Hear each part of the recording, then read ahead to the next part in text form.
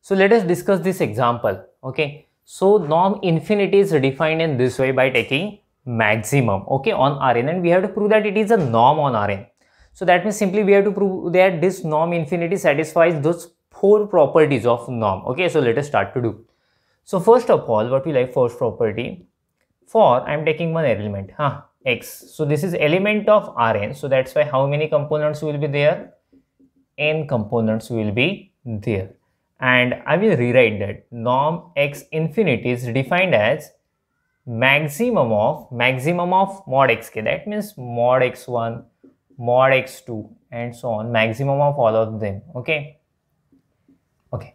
See after that uh, clearly huh clearly clearly mod x1 greater than or equal to 0 and so on.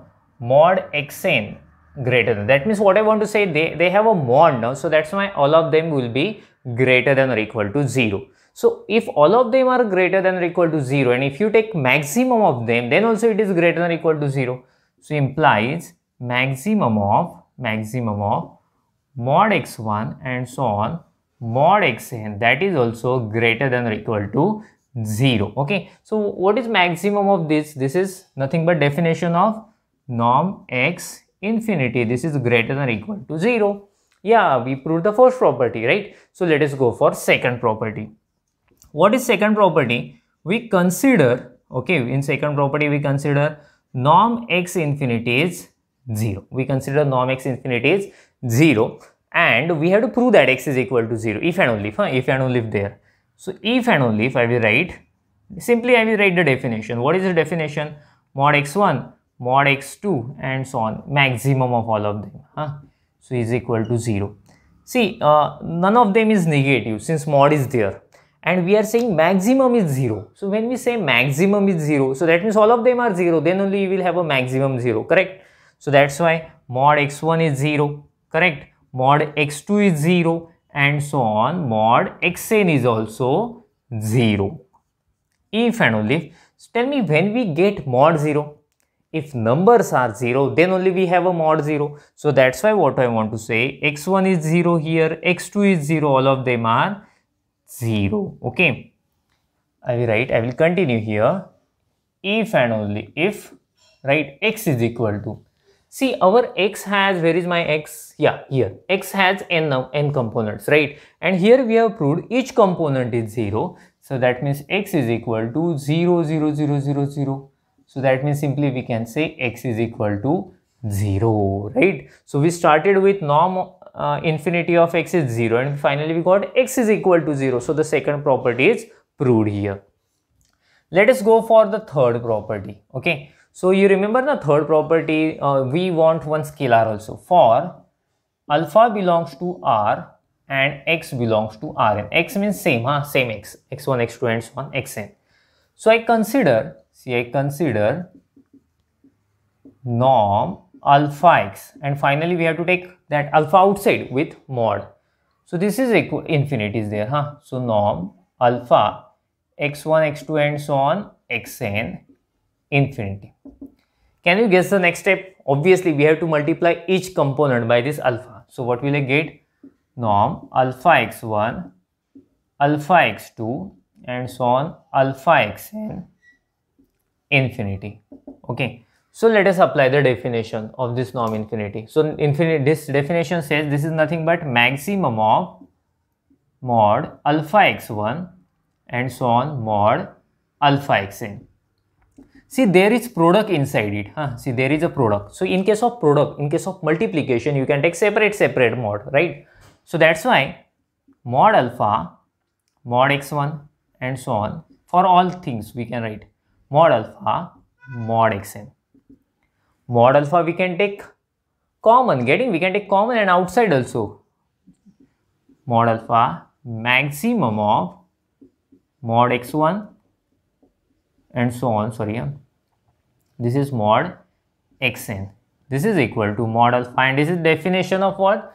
This is definition of norm infinity x so yeah we proved alpha we took outside with mod so in this way we proved first three properties. So now just we have to prove last property, okay? So make a screenshot of it and after that we'll go for last property.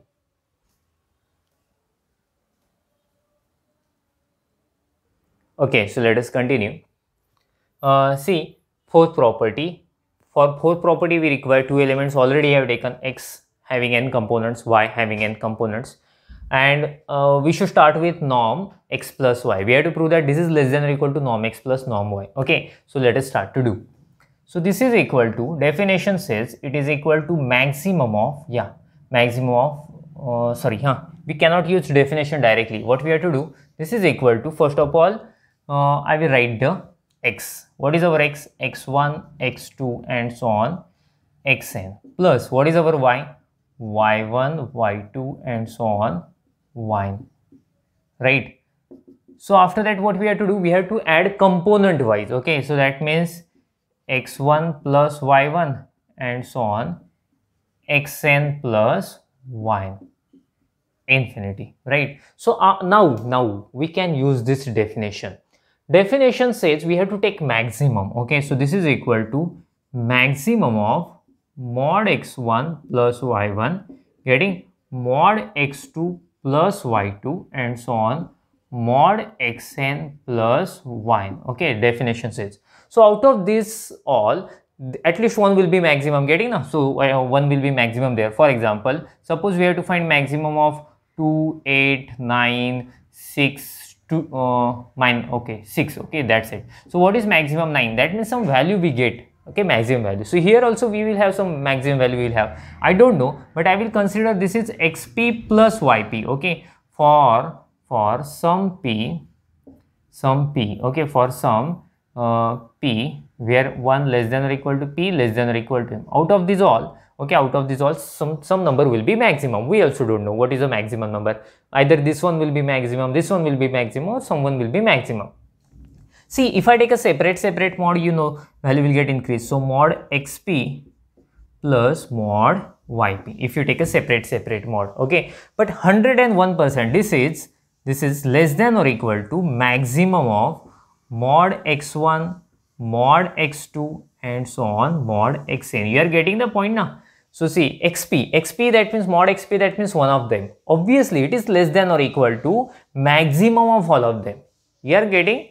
So if you select any arbitrary student of your school uh, class okay if you select any arbitrary student of your class so the maximum or you can say the tallest student okay will be either greater uh, taller than that our assumed boy or equal also. So equality can be possible or obviously the maximum value will be greater than or equal to this one. Similarly, we can write for yp.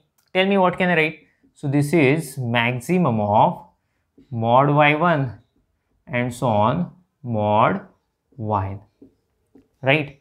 So see, obviously this is definition of norm x infinity and this is definition of norm y infinity. So we started with we started with okay this, this was just example i will remove it okay so therefore therefore see we started with norm x plus y infinity and less than or equal to inequality we have got at two times getting and this is less than or equal to norm x infinity plus norm y infinity right so therefore Therefore, see this norm infinity satisfies all conditions, right? Four conditions satisfied, therefore we can declare. So therefore norm infinity is norm on Rn, okay? So in this way we proved it is norm on Rn. So yeah, this example we have finished. Make a screenshot of it and after that we will stop. Thank you.